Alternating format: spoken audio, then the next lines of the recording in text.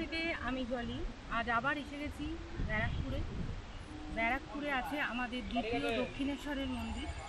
এই হলো সেই অন্নপূর্ণা মন্দির। এখন আমি এই ব্যারাকপুরের অন্নপূর্ণা মন্দিরে আছি। ভীষণ সুন্দর জায়গাটা। এটাকে বলা হয় দ্বিতীয় দক্ষিণেশ্বর। আঠেরোশো সাতান্ন খ্রিস্টাব্দের বারোই এপ্রিল এই মন্দিরের প্রতিষ্ঠা হয়। আর এই মন্দির প্রতিষ্ঠা করেন রানী রাসমণির ছোট কন্যা জগদম্বা দেবী। এই মন্দিরের এখন আমি একদম সামনে দাঁড়িয়ে আছি। আর মন্দিরটা আমি পুরো ঘুরবো আমার সাথে। আপনারাও এই মন্দিরটা দেখুন। আশা করছি সবার ভালো লাগবে।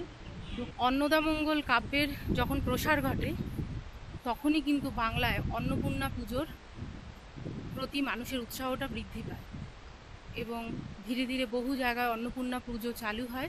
তো সেই সময় এখানে এই মন্দির প্রতিষ্ঠা করার কথা জগদম্বা দেবীর মাথায় আসে এবং রামকৃষ্ণদেব তাকে অনুমতি দেন। এবং তিনি এই মন্দির তখন প্রতিষ্ঠা করেন। আর আজকে আমরা এখানে এসেছি, একটু মেঘলা ওয়েদার একটু হাওয়াও দিচ্ছে, খুব ভালো লাগছে, আর আমাদের চারপাশে পায়রা ঘুরে বেড়াচ্ছে।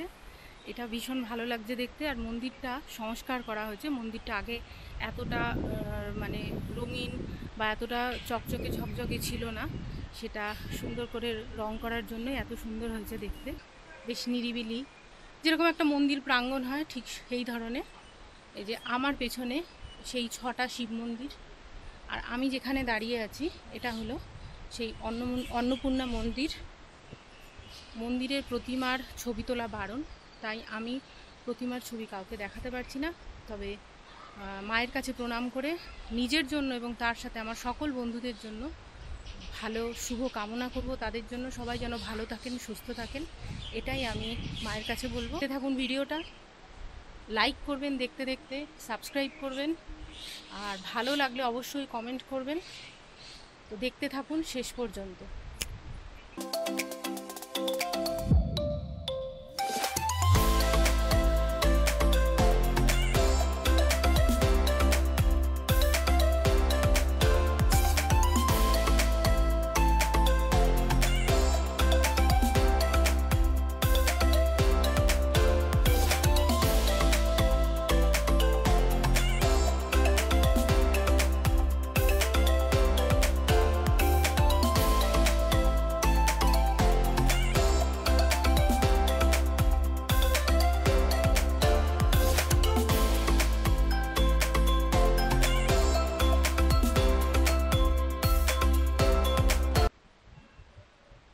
ওইখানে দুটো শিব মন্দিরের মধ্যেখান দিয়ে একটা গেট রয়েছে, যার সোজাসুজি রয়েছে গঙ্গার ঘাট। তো আমরা একটু পরে মন্দির দর্শন সম্পূর্ণ হয়ে গেলে আমাদের, আমরা চলে যাব ওই গঙ্গার ঘাটটা দর্শন করতে।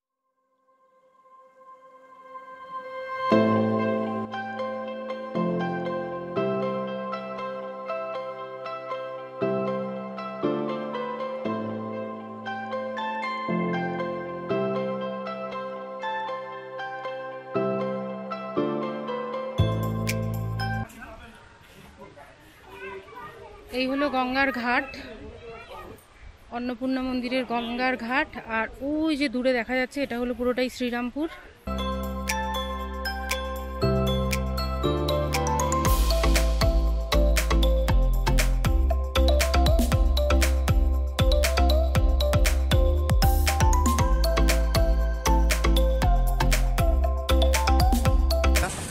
এখন আমরা অন্ন অন্নপূর্ণা মন্দির থেকে বেরিয়ে এসে স্টেশনের দিকে যাচ্ছি, আর যাওয়ার পথে দাদা বৌদির বিরিয়ানিতে আমরা এখন দাদা বৌদির বিরিয়ানির থেকে বিরিয়ানি খাব, খেয়ে তারপর আমরা ট্রেন ধরে বাড়ির দিকে রওনা দেবো তো ব্লগটা আজকের মতো এখানেই।